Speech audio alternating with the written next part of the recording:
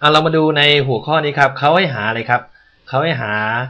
ค่าปัดเศษนะเขาหาปัดเศษให้เป็นจำนวนเต็มสิบนะเป็นจำนวนเต็มสิบเห็นไหมครับ เป็นจำนวนเต็มสิบดูง่ายเลยนะครับ เต็มสิบเราก็พิจารณาที่หลักอะไรครับ หลักหน่วยนะ หลักหน่วย หลักหน่วยของของแต่ละตัวนะ เราเห็นเลยปุ๊บนะเราหลักหน่วยนะ ถ้าเต็มสิบเราพิจารณาที่หลักหน่วย พิจารณาอยังไงนะ ถ้าเป็นเส้นอย่างนี้นะครับนะนะ เต็มสิบ นะแต่ถ้าถ้าเป็นเต็มสิบนะดูที่หลักหน่วยนะครับ ถ้าเกินห้าขึ้นมานะครับนะตั้งแต่ห้าขึ้นมาจนถึงตรงนี้เนี่ยนะอันนี้ปัดขึ้น แต่ถ้าเกิดทำไมครับ แต่ถ้าเกิดมันลงนะ แต่ถ้าเกิดมีค่าน้อยกว่าห้าเนี่ยนะตัดทิ้งเห็นไหมนะเช่น ถ้าเป็นเจ็ดอย่างนี้ทำไงครับ ปัดขึ้นนะถ้าเป็นสี่ทำไมครับ ตัดทิ้งโอเคไหมอย่างนี้ชัดเจนนะครับ เพราะฉะนั้นเดี๋ยวเราเริ่มกันเลยนะครับ ไม่ยาก นะข้อนี้โอ้โหข้อนี้ง่ายมากนะครับ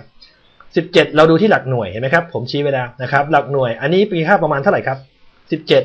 นะสิบเจ็ดทำไมครับ มีค่ามากกว่าห้าใช่ไหมเพราะฉะนั้นก็กลายเป็นยี่สิบถูกไหมครับห้าสิบสองยังไงครับห้าสิบสองทำไมครับ น้อยกว่าห้าไหม น้อยกว่าห้าตัดทิ้งง่ายเลยเห็นไหมครับห้าสิบนะอันนี้ครับเจ็ดร้อยเจ็ดเราพิจารณาที่หลักหน่วยถูกไหม มีค่ามากกว่าห้าไหม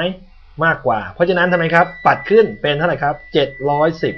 นะชัดเจนนะครับ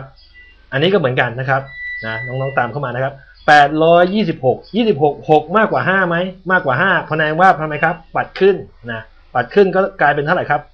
แปดร้อยสามสิบนะง่ายๆนะครับมาไปพร้อมๆกันนะครับนะครับ ตรงนี้เท่าไหร่ครับสี่พันสามร้อยสามสิบสี่นะเราพิจารณาที่หลัก เต็มสิบพิจารณาที่หลักอะไรครับ หลักหน่วยใช่ไหมเพราะฉะนั้นเป็นไงครับสี่น้อยกว่าห้าไหมน้อยกว่าห้าตัดทิ้งแค่นั้นเองเป็นเท่าไหร่ครับสี่พันสามร้อยสามสิบ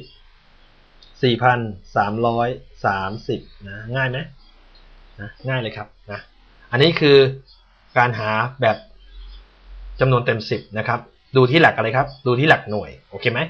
เคลียร์นะครับ